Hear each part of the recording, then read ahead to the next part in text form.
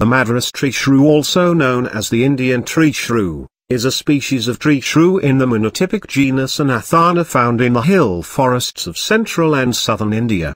The genus name is derived from the Tamil name of Mugilan literally bamboo squirrel, and the species name is after Sir Walter Elliot of the Indian Civil Services in Madras.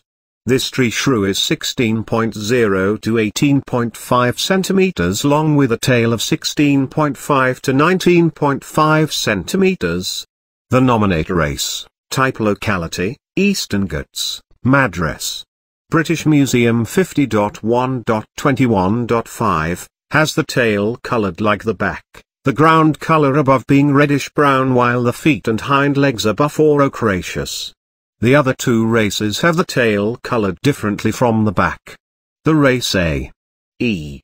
Pallida, type locality, Manbhum, Bengal, collected by Robert Cecil Beavan British Museum 66.12.28.2, has the color of body above reddish brown and the feet and hind legs grizzled buffy. Race A. E. Wroughtoni, type locality, Mandvi, Surat, collected by R. C. Wroughton British Museum 96.11.7.1, has the colour of body above dull grizzled brownish and the feet and hind legs grizzled greyish. Some later workers lump all the three races. This